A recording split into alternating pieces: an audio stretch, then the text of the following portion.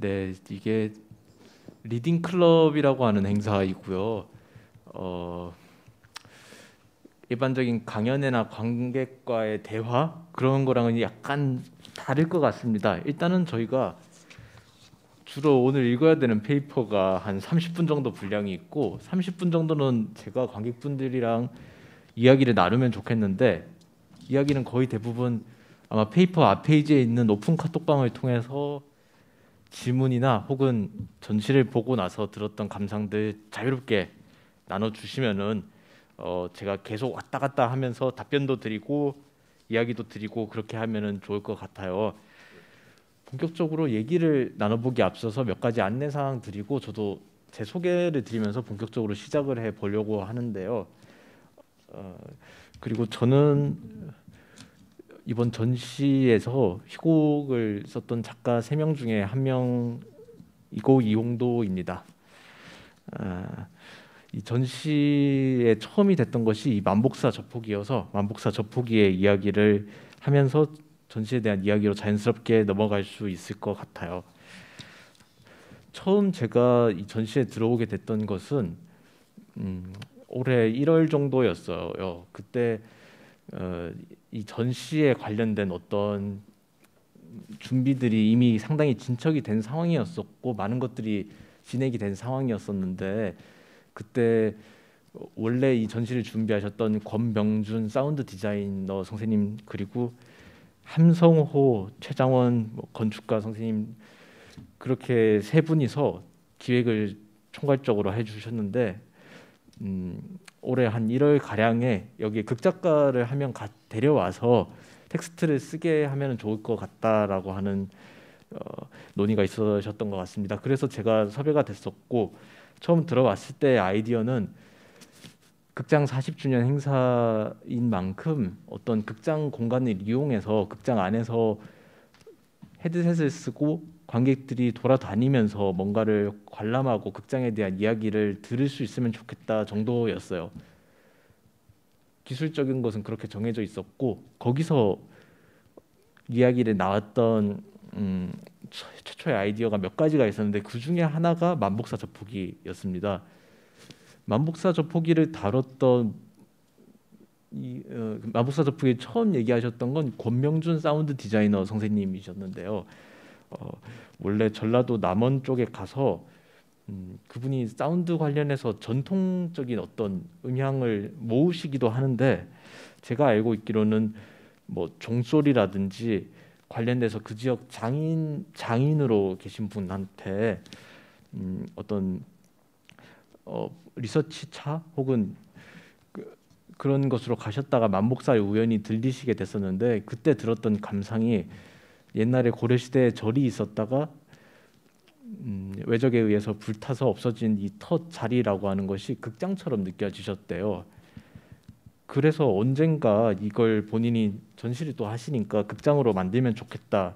그 극장에서 이 전시를 하면 좋겠다라는 모티프를 받으셨는데 아르코 40주년을 맞아서 그걸 해보면 좋겠다라고 하는 의향이 있으셨고 몇 가지 아이디어 가운데 그게 어, 최종적으로 선택이 되어서 그걸 중심으로 하는 텍스트를 쓰겠다라는 쪽으로 방향성이 정해진 상태로 제가 어떻게 보면은 음, 시작을 하게 되었던 것이죠. 그런데 저도 마찬가지로 이 모든 것들이 어떻게 보면 정해지고 나서 이 텍스트를 읽어보았습니다. 여러분과 마찬가지로 한 15분, 20분 정도 되는 분량. 물론 이건 약간 현대어 버전으로 축약을 한 버전이고 원래는 시도 되게 많이 나오고 부연이 꽤 많이 되어 있는 텍스트인데요. 이 텍스트를 읽으면서 제가 아 이걸 아르코 40주년으로 올리면 어떻게 도대체 무슨 텍스트를 써야 될까를 고민을 하면서 올해 2월로 넘어가기 시작했습니다. 시간은 제가 고민했던 것은 몇 가지 포인트가 있었습니다. 하나는 이 이야기가 너무나 남성 중심적인 이야기라고 하는 것인데요. 음, 제가 지금 이거를 읽었을 때 아차 그러니까 이걸 뭔가 각색을 해서 무대화하는다든가 사운드로 틀었을 때 관객들이 동시대적으로 어떻게 이 텍스트를 받아들일 것이며 배우분들께는 어떻게 이걸 요청을 드려야 될까라고 하는 고민에 빠질 수밖에 없었던 것이 어떤 남성 판타지의 총체적인 구현처럼 느껴졌던 거예요. 고전적인 물론. 그래서 리서치를 하다 보니 아니나 다를까 실제로 이 텍스트가 동시대적으로도 그랬지만 당시에도 조선 시대 음, 이 텍스트를 뭐 읽지 말아라라는 약간 운동 같은 게 있었다고 하더라고요. 제가 정확한 명칭은 기억나기 않는데 이런 종류의 텍스트들을 중국에서 왔던 원혼 서사 약간 계통으로 뭐가 있었다고 합니다. 근데 그걸 유생들이 읽고 유교 공부는 안 하고 자꾸 뭐 귀신을 만나서 연애를 해야 돼라는 정말 그냥 그런 풍토가 유행이 불었었대요. 그래서 당시에 자료에도 보면은 이게 국가의 이 유생들의 인력을 이렇게 낭비하게 만드는 아주 나쁜 질 나쁜 뭔가다 그들을 현혹하는 뭔가다라고 해서 문제가 되었었다고 어, 하는 기록들이 있을 정도로 당시에도 약간 그렇게 느껴졌던 것 같아요. 그랬던 포인트들이 구체적으로 구절들에 많이 나오고 있는데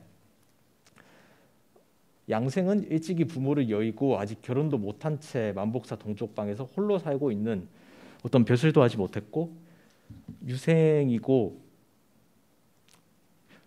어떤 집안이라든가 그런 것도 당시 뭐 전통적인 가치관에 의하면은 하잘 것 없는 젊은이입니다.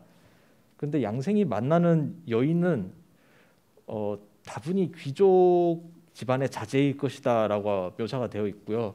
시녀가 있고 보면은 중반부에 뭐 뭐 네 명의 어떤 귀족집 자제들이 와서 시를 막 유창하게 읊어주고 그런 것들이 있어요. 어 정말 조선 시대의 어떤 남성 판타지가 그런 거였던가 뭔가 라는 되게 이상한 저는 느낌을 받으면서 그것들을 보았는데요.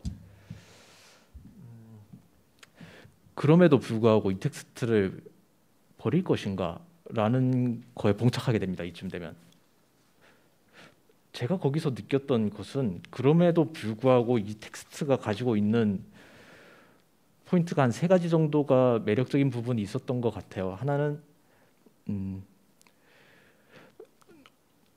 영혼이랑 인간이 만나서 어쨌든 교감을 한다라고 하는 것, 실재하지 않는 것이 어, 실재하지 않는 것이 어떤 되게 이 작품 안에서는 텍스트 안에서 역동적인 작용을 하고 있고 뭐랄까요 텍스트가 정말 신기한 어떤 텍스트인데요. 보면은 귀신이 그냥 나타나서 그거에 귀신에 홀렸다 정도가 아니라 여인이라고 하는 그 영혼이 어쨌든 양생을 데리고 본인이 원하는 바를 주도적으로, 주도적으로 이뤄갑니다.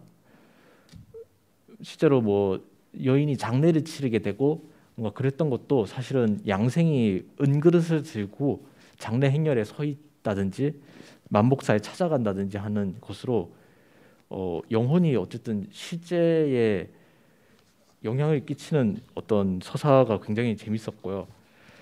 그리고 또 하나는 음, 이건 그 저 말고 선생님들께서 그 아까 말씀드렸던 처음에 이걸 기획해 주신 선생님들께서 재밌게 보셨던 것인데 양생이라고 하는 부잘 보잘것없는 젊은이가 부처님을 상대로 저포놀이를 해서 이긴다라고 하는 모티프가 대단히 재밌다.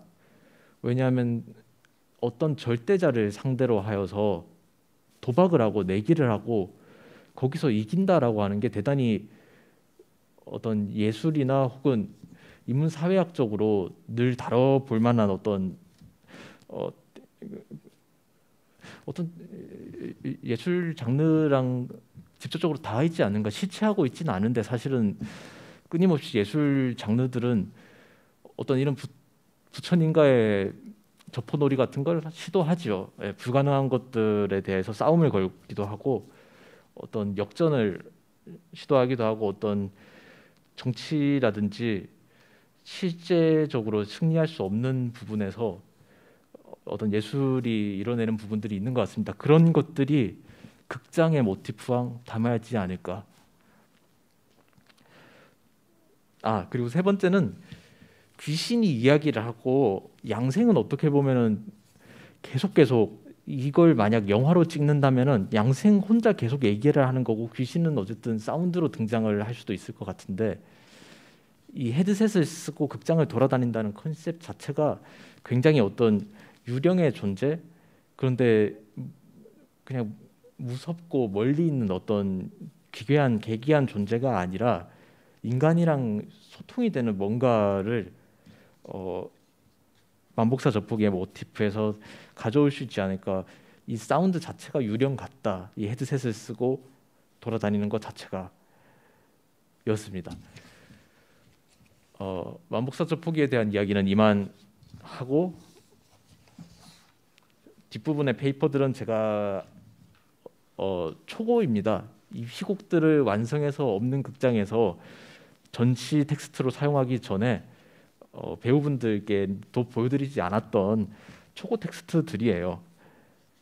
어, 미발표된 작품들인데 이것을 돌아가면서 읽어볼 수 있을 것 같고요. 음, 날짜별로 되어 있습니다. 실제로 1월쯤에 제가 처음 얘기를 들었을 때부터의 어떤 텍스트들이어서 아, 가능하다면 이것 또한 아까와 같은 방식으로 이제 또 객석으로 넘겨드리고 한 문단씩 읽어 나갈 수 있으면 좋겠는데요. 괜찮으시면은 6페이지에 0-A로 되어 있는 텍스트를 부탁드릴 수 있을까요? 0-A 22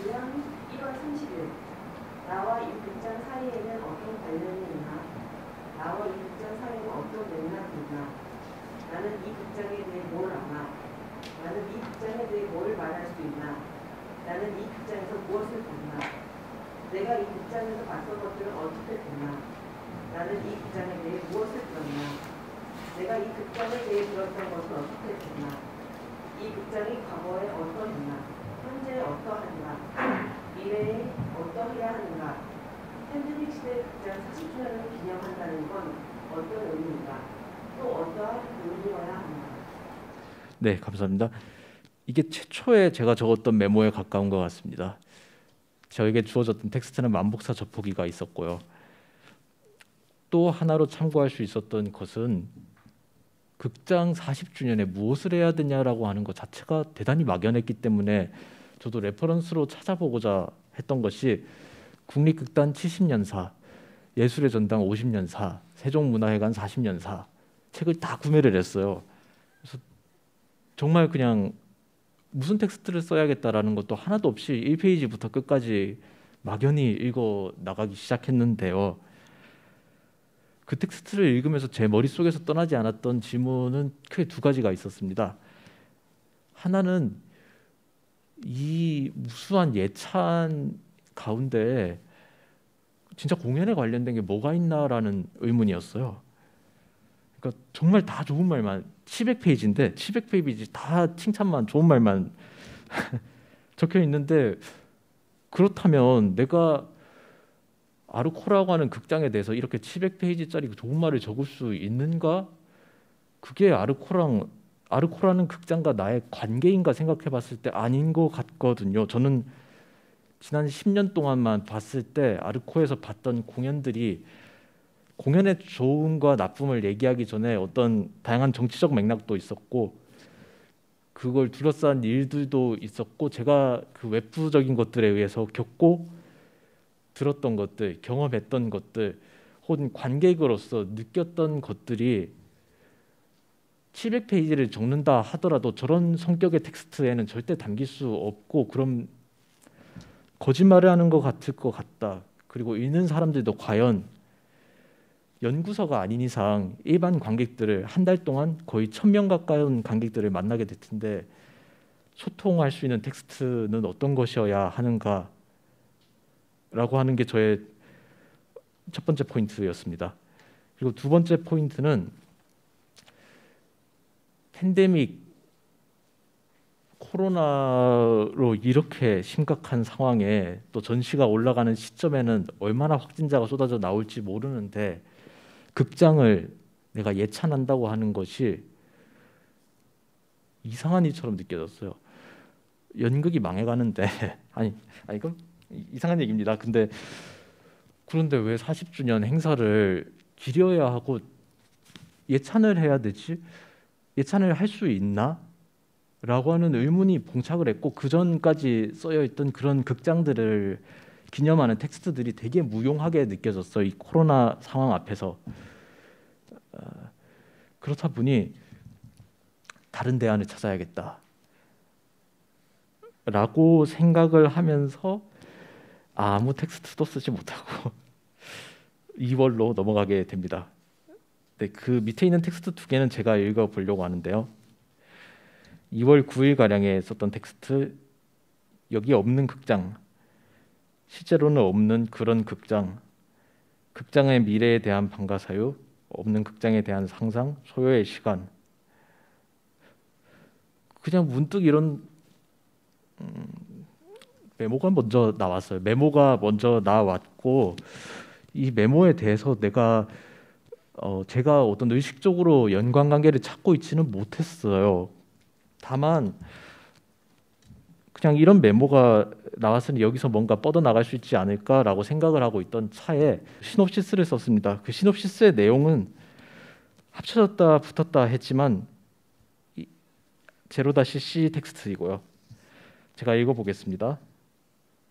중간까지 읽어보면 될 것 같아요. 아르코 예술 극장이 개관 40주년에 맞아 기념 전시 없는 극장을 개최합니다. 만복사저포기와 만복사제 관계에서 영감을 얻은 이번 전시는 과거 한때 아르코 예술 극장이 존재했던 터를 가상의 배경으로 삼습니다. 헤드셋을 쓴 관람객들은 지난날 이 공연 공간을 스쳐갔던 이들의 목소리와 이야기를 들으며 극장이 있던 자리를 배회하고 원하는 공간을 골라 자신만의 내러티브를 탐색하는 가운데 점차 전시 속 이야기와 풍경의 일부가 되어갑니다. 없는 극장이라는 상징은 극장 자체를 전시함으로써 역설적으로 지금 여기에 극장을 강조하고 유념을 시대에 새롭게 태어날 극장의 내일을 상상하게 할 것입니다. 네, 이하의 내용은 여러분들이 전시 예약 때도 보셨을 테고요. 전시 리플렛에도 들어있고 이 내용들이 간으로 저는 적었는데 아 이게 되게 신기한 경험이었어요. 되게 좋은 경험이었어요. 저는 이걸 제출을 했는데 연극을 하면서도 집단 창작, 공동 창작이라고 하지만 어쨌든 작가의 텍스트가 중심이 되어서 이게 소통을 하면서 그게 덧입혀지고 공연회까지 올라간다라는 개념인데 이번에 이 없는 극장이라는 전시는 정말 역동적인 전시였고 어 제가 이렇게 텍스트를 냈을 때 음, 전혀 그림을 상상하지 못했던 것들을 이 텍스트를 중심으로 입혀 주셔서 지금의 어떻게 보면 텍스트 그러니까 전시 자체가 나왔고 지금 와서는 없는 극장이라는 제목이 대단히 그럴싸하게 저도 느껴지는 신기한 경험을 하게 된 거예요. 이거에 대한 어떤 보완이 다 되었던 것 같은데요. 음, 그리고 이제는 초고 텍스트로 대략 배경적인 것들을 말씀을 다 드린 것 같습니다. 초고 텍스트로 다시 넘어가 볼 수 있을까 싶은데 독백도 있고 두 분이서 얘기를 해야 되는 것도 있어요. 그래서 제가 이 경우엔 지정을 좀 해드려야 될 것 같은데요. 어, 괜찮으시다면 7페이지를 그 2열에 2열에 계신 분과 3열에 계신 남자분 두 분이서 네 배우 1과 배우 2 이거를 나눠서 읽어주시면 좋을 것 같은데 한번 돌고 나면은 다들 어떤 룰이 생길 것 같아요. 예.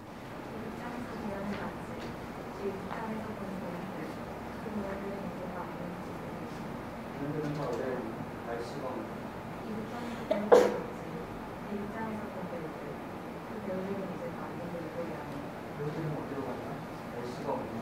씌워진 무대들, 비추한 조명들, 울리는 소리들, 춤추던 모든 것들 그것들은 이제 다 없는 것들이라는 이 극장은 이제 없는 극장. 극장은 이제 없고 남은 것은 노래. 없는 노래만이 여기 나오는 없는 노래만이 이제 이 극장입니다. 네, 감사합니다. 이 텍스트는 구체적으로 어떻게 써졌는지 제가 맥락이 기억이 나는데요. 아까 700페이지짜리 이 책들을 읽으면서 제가 느꼈던 느낌도 있었고 이런 포괄적인 어떤 대단히 객관적이고 어떤 보편적인 어떻게 보면 뻔한 이야기이기도 한 이런 기념하는 텍스트가 아니라 나에게 그 그냥 개인에게 뭐 여러분들 개인에게 관객들 개인에게 어, 그 이 극장은 무엇인가라는 것을 생각을 해 보면서 그걸 찾아보려면 제가 10년 동안 아르코 예술극장에서 봤던 공연들 리스트를 다 뽑아봐야겠다로 되었어요. 그래서 실제로 다 뽑아 봤습니다. 160편인가 있더라고요. 그래서 다 하나하나 보는데 어, 너무 기분이 이상하더라고요. 거기서 느꼈던 기분이 이거였어요. 그 지어진 무대들, 비추던 조명들, 울리던 소리들, 춤추던 모든 것들, 그것들은 다 이제 없는 것들이라네. 그 창작자들 가운데 70% 넘게 거의 80% 가까이가 국내에서 이제 공연을 안 하거나 공연이 올라가지 않거나 혹은 예, 공연을 올리고 계시긴 하지만 아르코 극장 무대에서 다시는 보지 않을 것 같더라고요. 여러 가지 측면에서 그런 것들이 대단히 이상하게 느껴졌습니다. 그리고 이 컨셉이 어떤 쓸쓸함을 저한테 주기도 했고요. 약간 슬프기도 하다라는 생각이 들었어요. 이게 코로나 상황이라고 하는 것이 겹쳐서 더 그렇게 느껴졌던 것 같고 저 또한 경력이 얼마 되지 않은 작가이지만 제가 10년 뒤에 어, 아르코 예술극장에서 데뷔작도 올렸고 어, 그 이후 작품들도 다 여기서 올렸는데 이 극장에 왔을 때 그 텍스트들을 기억해 줄 사람들이 얼마나 있을까 어, 뭔가 그런 생각에 상념들에 잠기기 시작하니까 이런 텍스트가 나오게 됐던 것이죠. 음, 그 다음 내용으로 넘어가서 마, 이야기를 이어갈 수 있을 것 같은데요. 2월 19일에 썼던 두 번째 텍스트를 한번 읽어볼 수 있을까 하는데요.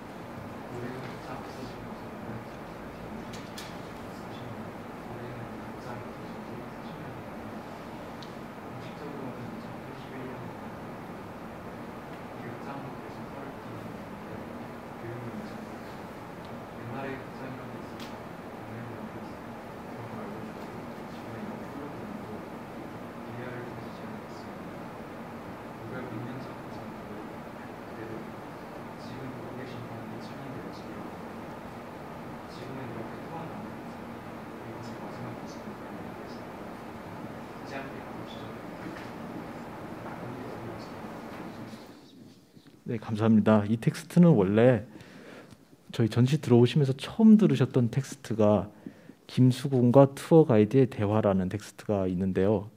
그 다음에 위치하던 텍스트였어요. 그랬는데 빼게 됐던 것이고요. 음,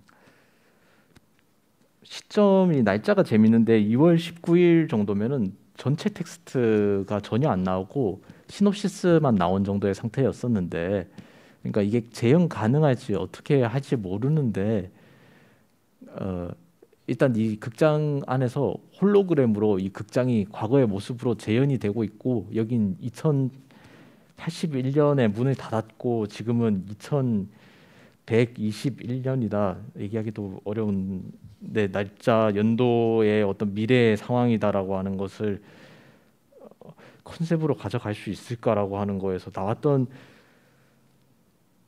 정말 얼토당토 않은 사실은 기획이었어요. 그러니까 이 방향성으로 텍스트를 쓸 수 있을까라고 하였는데 이건 너무 같다라고 나중에 생각을 하게 돼서 뭔가 지금은 이런 미래 컨셉들은 사실은 아닌 걸로 텍스트들이 많이 현재 전시를 구성하고 있는 것 같아요. 네, 다음 텍스트를 또 두 분께 부탁을 드릴 수 있을까 하는데요. 입구 쪽에 계신 분께 유령 1, 곁에 계시는 분께 유령 2를 부탁드리면 네. 여기선 티거드는 춤을 춰야 돼. 와, 이렇게 어? 티거 꽂히는 춤. 어, 춰봐. 춰요? 이렇게. 이게 춤이야? 이게 춤이야? 춤을 주어치죠. 두 사람 동시에 춤을 추기 시작해. 네, 밑에 밑에 텍스트가 연관되는 텍스트여서 똑같이 서양 칠렵수, 일본 칠렵수를 나눠서 한번 부탁드릴 수 있을까요? 뭐, 우리냐고 앞에도 많이 왜 많은 얘기야? 말하지 마. 이번에 마른 얘기라고 마른 얘기 보니까 마른 얘기가 근데 사실 마른 얘기가 아니야. 마른 얘기는 강남처럼 생겼는데 서양식 너가 다니 일본식 거야. 일제 강남 국제 신문 그런데 그게 그래서 써. 너한테 왜 말해? 나한테 나 두번 나 그런 거 해야겠어. 진짜 그러고 싶지. 서양식으로 좋아. 일본 식으로 네, 감사합니다.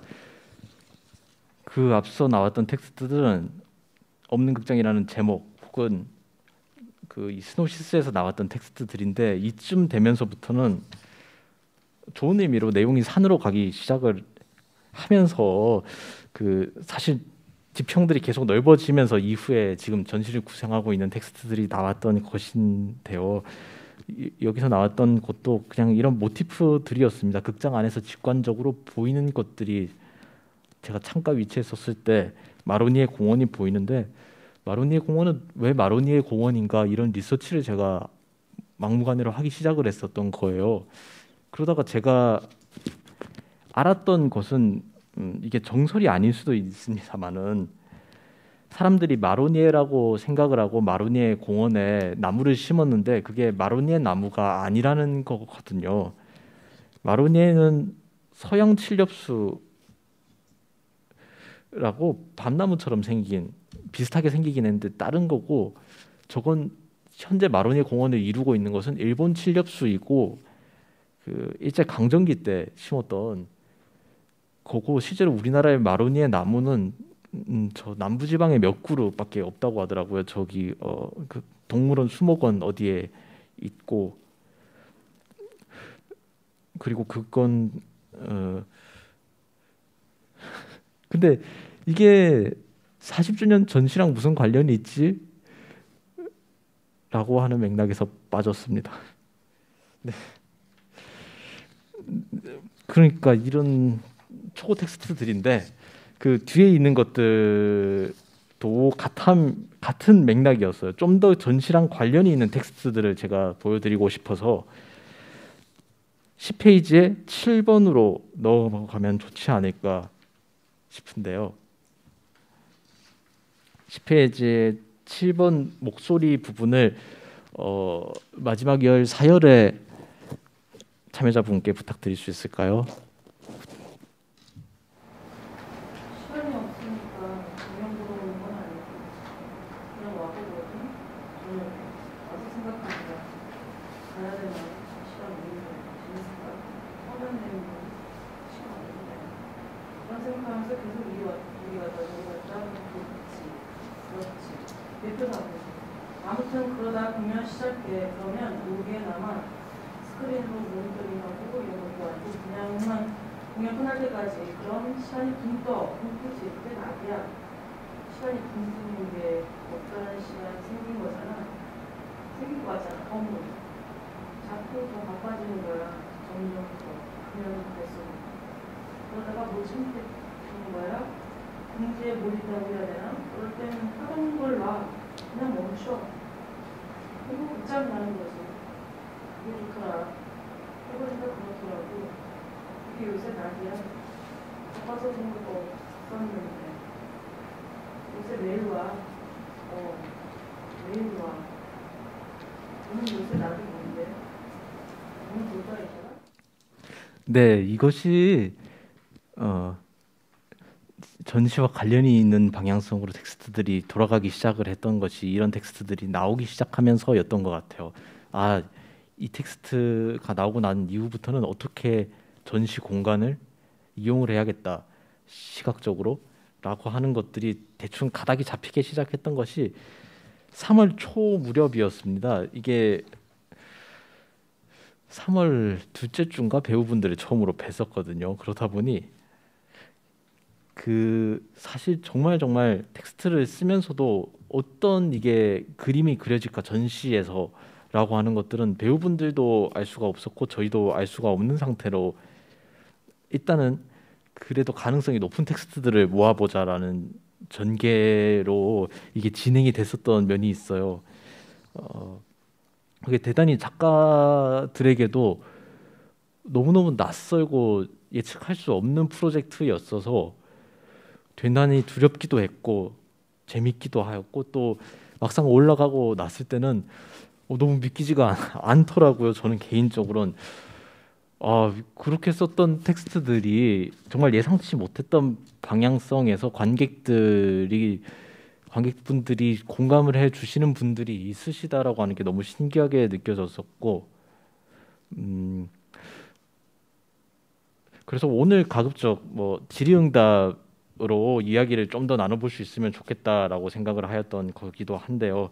저 또한도 어 감상들을 더 들어보고 싶어서 그랬는데 음, 춘님께서 남겨주신 게 저도 어떤 텍스트를 썼는지가 궁금하다고 남겨주셨고 새 극작가들 사이에 협업 또는 대화의 과정도 있었는지 궁금하다고 남겨주셔서 이거에 대한 답변 드리겠습니다.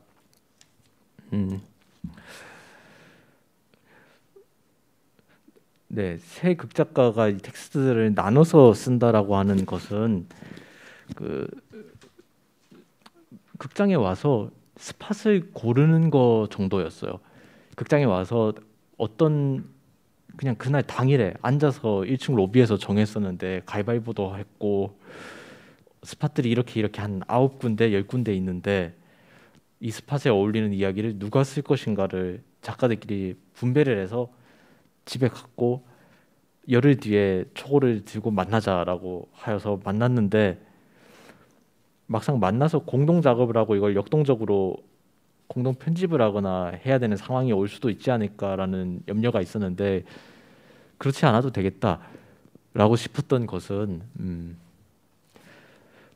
구체적인 컨셉을 잡고 간 것이 아니었는데 이상하게 텍스트를 써 놨더니 서로 겹치는 부분들이 상당히 많이 발생을 하더라고요.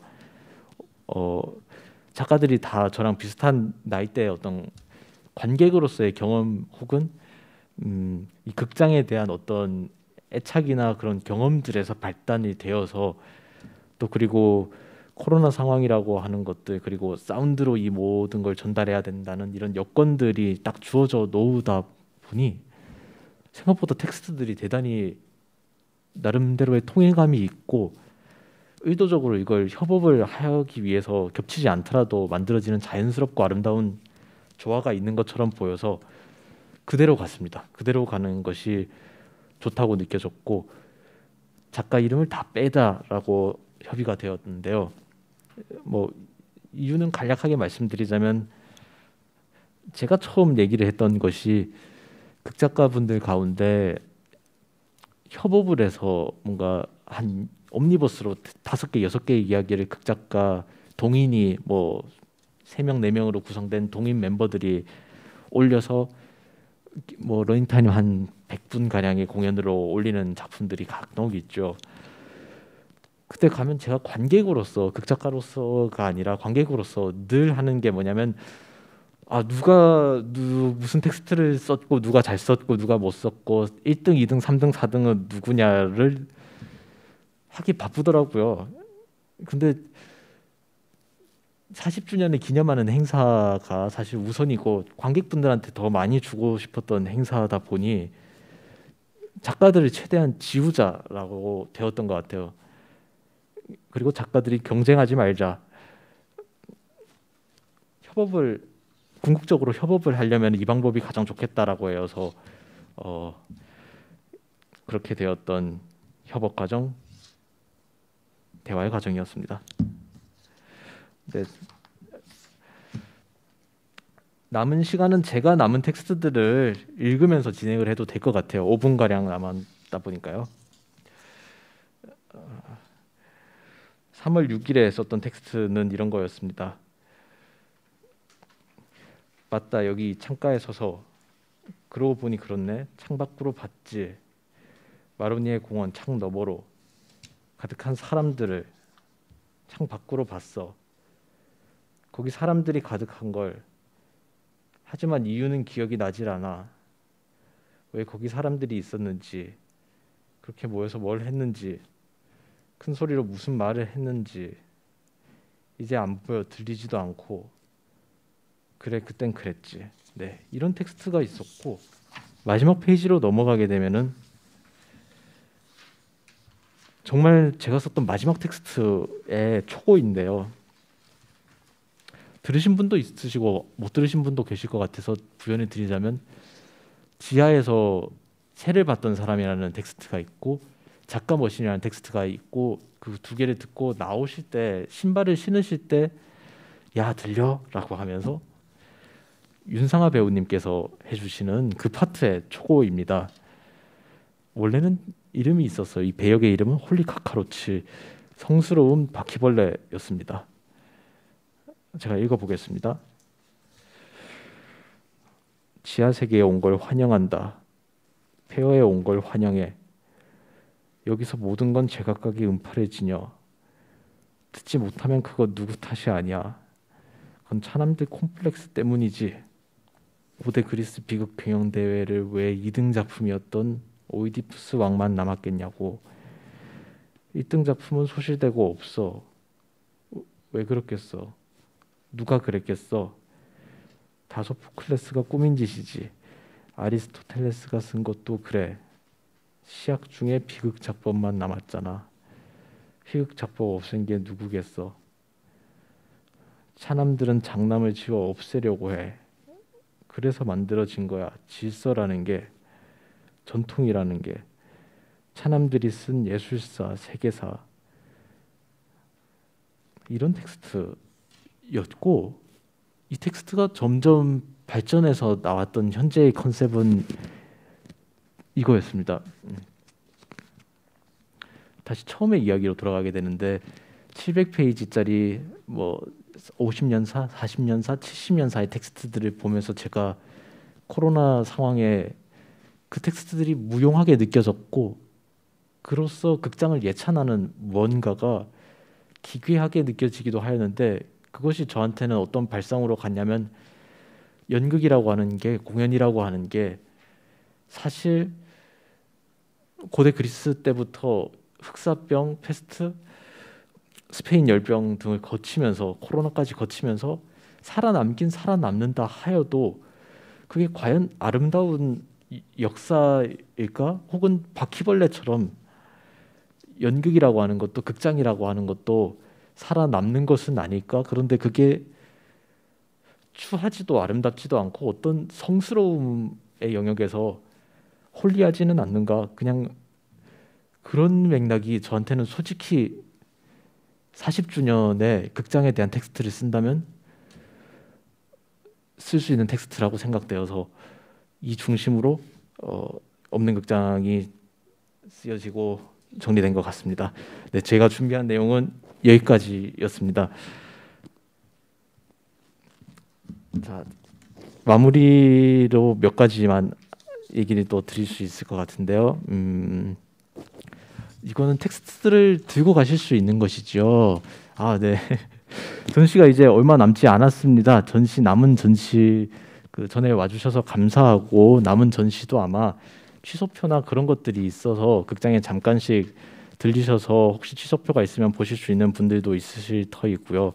어, 혹은 보시고 남 드셨던 뭐 감상이나 그런 것들은 후기로 남겨주시면은 작가들이 대단히 어, 젊은 작가들이다 보니 공연 피드백을 많이 받아보지 못했는데 저는 이때까지 했던 모든 공연들에 합한 것보다 없는 극장에서의 피드백을 더 많이 받고 있어요. 그래서 되게 힘을 많이 받고 감사했는데 다른 작가분들도 마찬가지이기 때문에 어떤 그런 것들을 남겨주시게 되면 바로 작가들이 다 읽어보고 엄청 감사하게 생각을 하고 있다는 말씀을 전해드릴 수 있을 것 같고 어, 이 텍스트들은 아마 가져가실 수 있으실 것 같습니다.